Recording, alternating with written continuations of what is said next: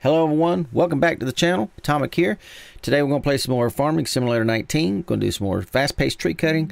I'm also going to do some fertilizing and some plowing and others. So sit back, relax, and let's watch the show.